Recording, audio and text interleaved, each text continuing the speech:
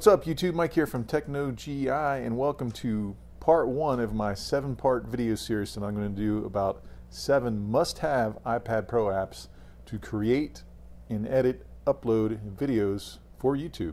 So it's pretty simple. I'm going to cover seven apps. You can see them in the thumbnail. But today I want to focus on iMovie for iOS.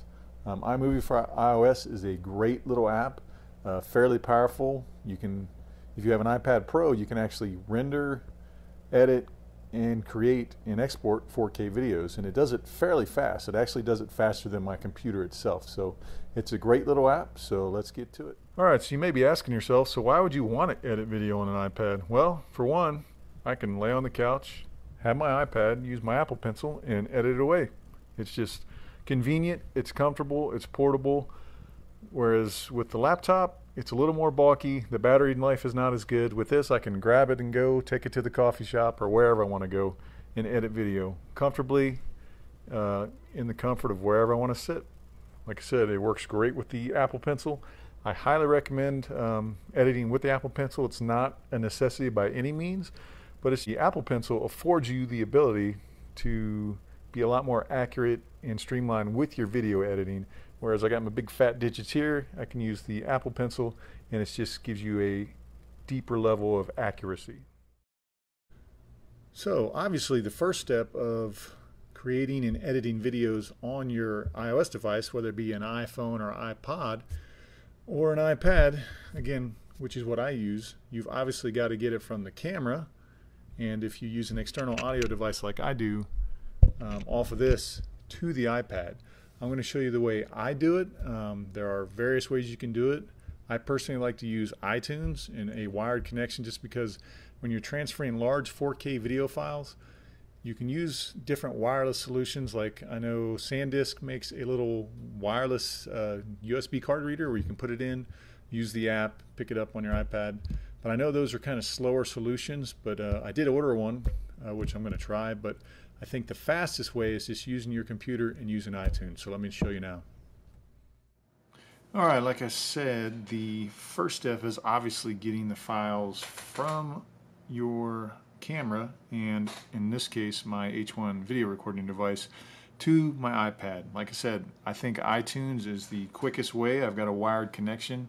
So obviously, uh, I'm going to use iMovie. So all you have to do is click on iMovie, and you got a little inbox here and I just hit add file. I've already done this so I'm not going to do it again but that's all you do is hit add file and then um, wherever you put the file from the SD cards of your recording devices and you'll just select that. So simple as that and now let's uh, take a look at the actual process.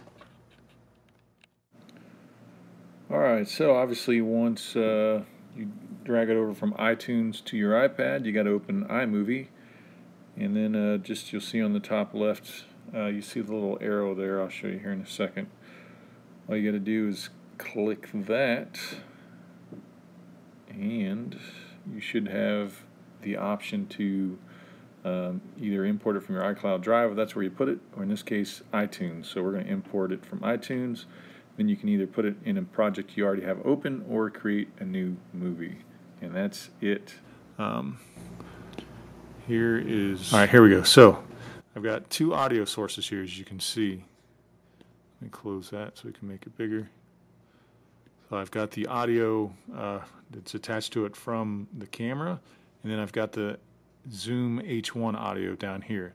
Now I'm using these waveforms to sync it up. So I do the old school clap, so I clap four times, and then with my Apple Pencil I can hold and press on the blue waveform here, and I just slide it until I get to where I want it. So I want to show you something here, just the difference in audio. So let me take this guy, and I'm going to turn him all the way down. And then I'm going to take this guy, and we'll go ahead and crank him up. Make sure you can hear him. So, and I'll hit play. So let's get it uh, to where I'm talking. So here we go. What's up YouTube? Mike here from TechnoGI and today I want to do a little bit of a different Let me boost that volume so you can hear it better. video. And this is for a new group and community that I've uh, joined, subscribed to on Facebook and it's called Tube Ritual. And all it is is just a group of like-minded individuals who want to create great video content on their YouTube. So you can hear the audio is not bad, but you can hear the kind of the background hiss. So now I want to take this guy and I want to turn him down to nothing. And I'll click on this guy and we'll turn him up uh, to hear, see what it sounds like. YouTube channels. So that's from the H1. Um, trying to sell a product or just doing YouTube videos. Trying. So as you can tell, the H1 sounds way crisper, just a better audio sound. Now you don't have to do this. Like I said, without using two audio tracks, it would literally take five minutes to edit this video. It takes a little bit longer when you're using a second audio track, just to be able to, um, how can I say it? Uh, yeah, merge the two. But like I said, it's not near as bad as you think. If you you've got to do the old claps. So as you can see, we've got the waveforms. We'll turn him back up so you can see the waveforms. And all I did was just drag this on top of that one, and you can see where it matches up. You know, it's not probably going to be extremely perfect like you would get from Adobe Premiere Pro Audio Sync, but I couldn't tell the difference. So, anyways, that's why I use my two audio sources. So I'm going to take this guy and go ahead and turn him down and keep on trucking. So obviously um, for the editing here, let me get to where I'm starting. Two, one. And I'm just showing you my whole process. So this will probably be a long video, but if you're bored, I'm sorry. What's up, YouTube? Mike? What's up, YouTube? So then I just hold down here. Oop. Nope. All right. So let me tell you what I'm going to do. So before I do all that, just a simpler thing is to uh, merge these audios. And the way I can do that, uh, uh, first I'm going to go to detach audio, and then I'm going to delete this audio from there. So right now I know it's already matched up, so I'm going to go ahead and export this just so it the only way to make it merge to it, and then it's easier to edit. So uh, I'll just keep it at my movie two, and then I'm gonna save video to I'm gonna go and go 1080p now because it would take me forever to do a 4K video. So it's going to export to my camera roll and it's going to automatically combine that audio source from the Zoom H1 to the video natively. So I'll let that do its thing and then we'll pick back up. All right. So, as you can see, this movie was exported to my photo library. So now uh, I'm going to go ahead and create a new project, simple, just so I can uh, bring in, it's going to be my last recently added. Yeah, getting pain in the butt. Which I know it's this one, so I'm going to go ahead and drop this guy in.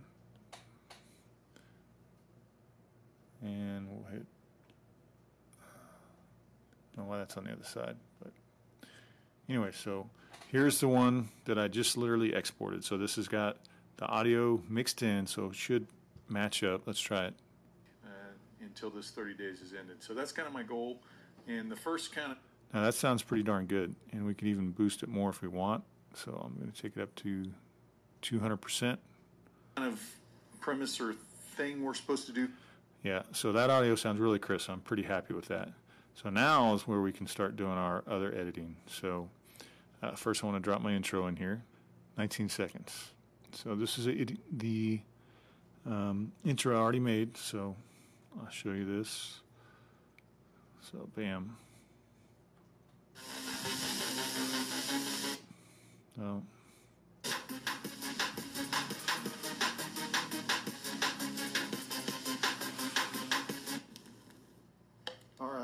All right, so go ahead and it automatically drops in a transition. So I've got my intro, and now I just got to start clipping this guy, which is super simple. So let me get to where I'm at.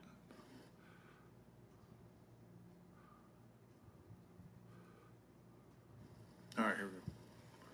Ready to go. So go ahead and split this guy right here, and then I can click on him and delete him and it's just that fast. So let's see. got a little more. What's up, YouTube? So yeah, so I got a little more I need to trim. Got my mouth open, which is very unflattering, but we'll split, delete. Here from Techno GI, today. Make sure I didn't miss it. What's up, YouTube? Mike here from Techno GI, and today I want to do a little bit of a. So bam. So now I'll just go to the end.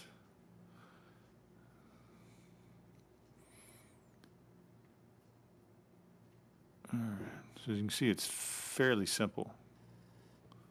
So, Get that. So with that, thanks for watching. all right, and there's the end. So now I just hit split, and I can delete this guy, and it's that fast. And I've literally uh, created an entire movie that fast. So now all I got to do is hit done. I can call it what I want. Oop. So we'll just call this um, intro final. And we hit done. And then I'll just save it in the format I want. So I'm just going to save it to my camera roll. But here you could actually literally upload it to YouTube if you click that. But the problem is, I'll just show you. I'm not going to do it. Is I mean I can still upload it at 1080p, but it doesn't save any of my tags or any of my pre-filled stuff. So you have to type in all that stuff again. So I don't like doing that. Um, so I'll just use it. Uh, I'll upload it another time to YouTube, but I'm just showing you that you can do it with the app, or you can use the Google Chrome app and upload it that way as well. But uh, we'll go ahead and save this guy. I'm going to save him uh, 1080p, and then it's going to export. And that is it. That's uh, how I use iMovie. That's pretty much all I do with iMovie. That was just a real quick demo, um, pseudo tutorial, more of a demo than a tutorial, but great app. And if you've got an iPad Pro, it's already free for you. So as always, thanks for watching. Please subscribe. I don't know why I keep pointing. Why am I pointing? For that, yeah, for that matter. Cut.